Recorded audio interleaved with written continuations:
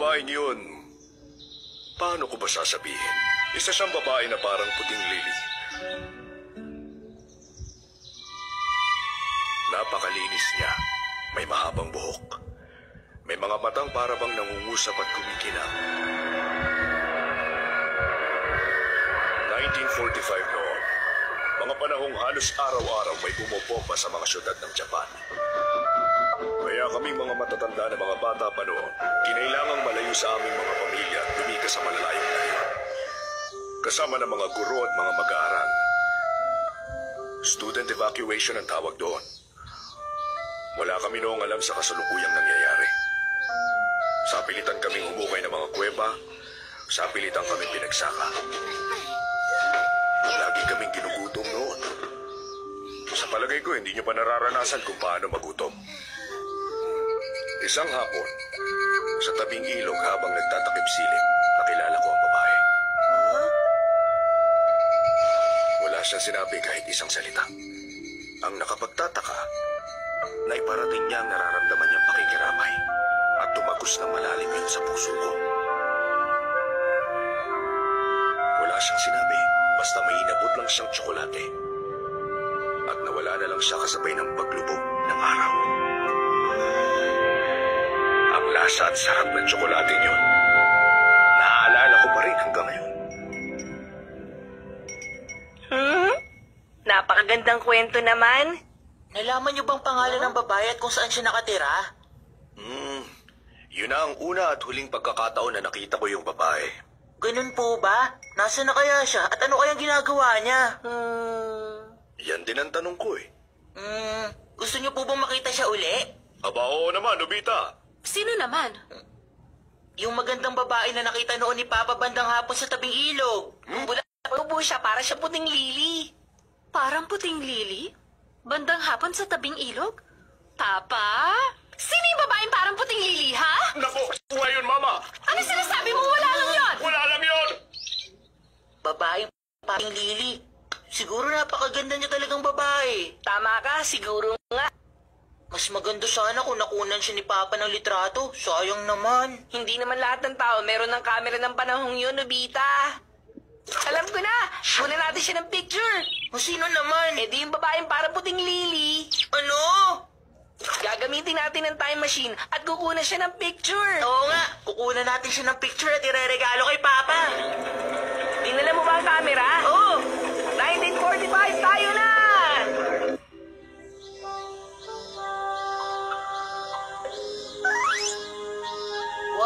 ang tahimik naman dito. Tingnan mo, mukha nasa templo ang lahat kasama si Papa. Para tuloy nakakailang na makikita ko si Papa nung kabataan niya. Halika na. Sige. Hmm?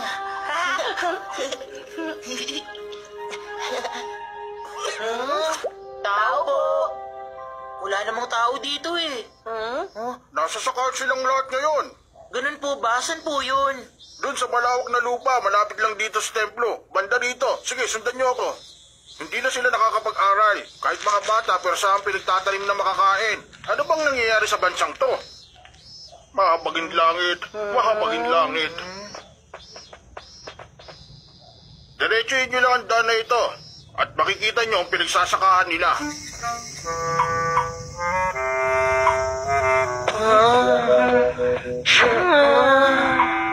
Ang init naman.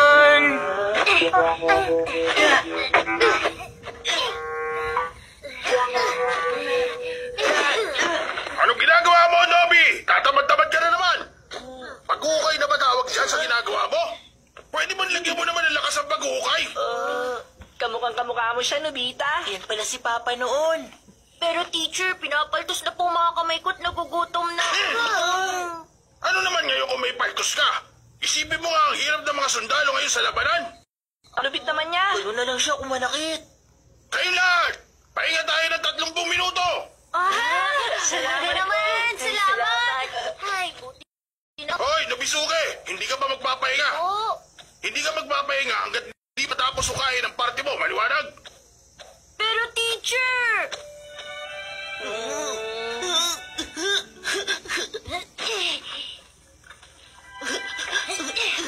Kawawa naman, hindi ko kaya manood. hindi ko na kaya.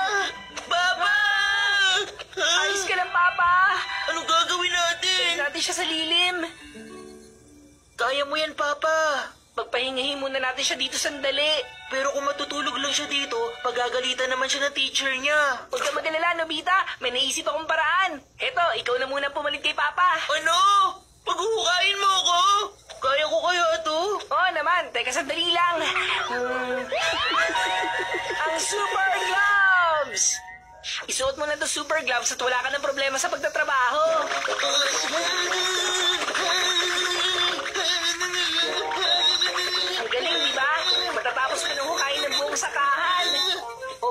pala. Nasaan na kaya yung babae na parang puting lili? Siguro nasa tabi siya ng ilog ngayon. Tama ka.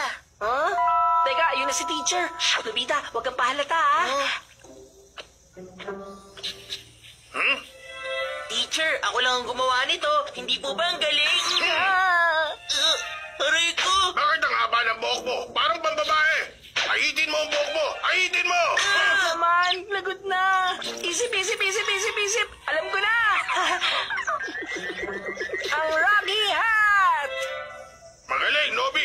Patapos ka na sa trabaho mo. Ang determinasyon mo nung una ay talaga nakakadismaya. Ayoko. Pero bumawi ka Kumuha, tayo, pakita mo kumuha. magaling ka. Tulungan kita ibalik ang buhok mo. Ganun pa man, sa itsura ng buhok mo ngayon, hindi ko nakikita ang pagsunod mo. Hindi ako papayag na maging ganyan ang... Ah, ah, paano mo naahit ang buhok mo?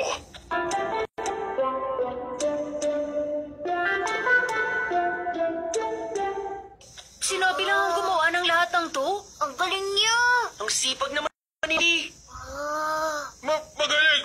Ganito nga dapat ang itsura ng isang baton. Mga bata, dahil tapos na ni Nobi ang lahat, tapos na rin ang pagtatrabaho natin sa araw na ito. Salamat! Salamat naman! Nahalagot na, nakatulog ako. Paano na, pagagalitan ako ni teacher nito. Wala na paraan, tatakas na lang ako dito. Saan kaya ako pupunta? Pero kailangan kong makalayo. Sandali. Nawala na si Papa. Baka nasa tabing ilog na siya.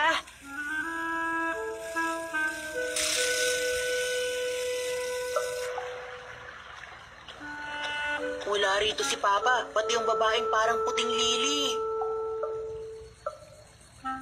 Hintayin na lang natin silang dalawa rito. Pwede bang pag-isipan natin kung anong gagawin natin sa kalbo kong ulo? Ayan lang ba? Maghintay ka ng 30 minuto. Ngayon, hihintayin na lang nating dumating yung babaeng parang puting lili, tama? Oo.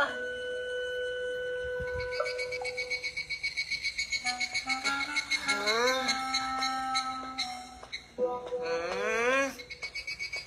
Hmm? Nobita, huwag kang lalayo. Pero malapit ang lumubog ang araw, wala pa sa kanilang dumarating. Nag-aalala ako baka... Ah!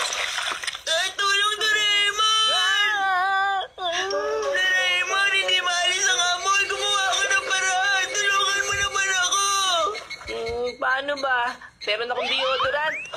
Lumapit ka dito. Ay, ang dami mo naman nilagay. Isa naman mga wika, di ba? Ang lamig naman. Basa pa ang damit mo, Nobita. Hahanap ako ng pwede mong maisuot. Sige, salamat. Ah! Si Papa! Ah,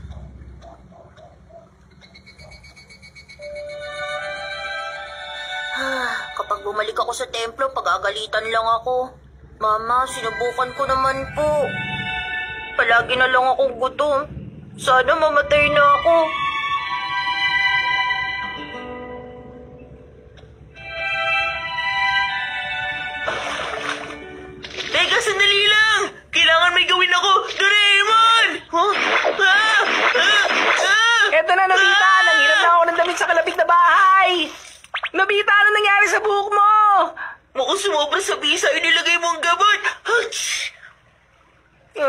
Ayos ka lang ba? Heto, isuot mo muna tong damit. Sige, Bilisan mo ha, baka dumating na yung babae.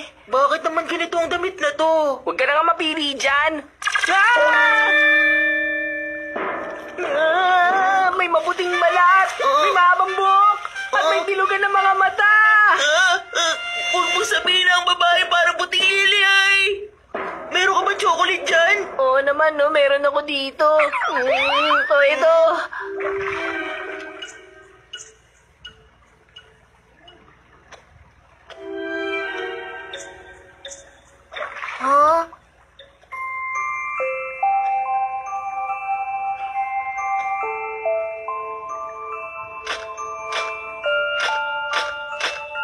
pala nangyari noon kay Papa.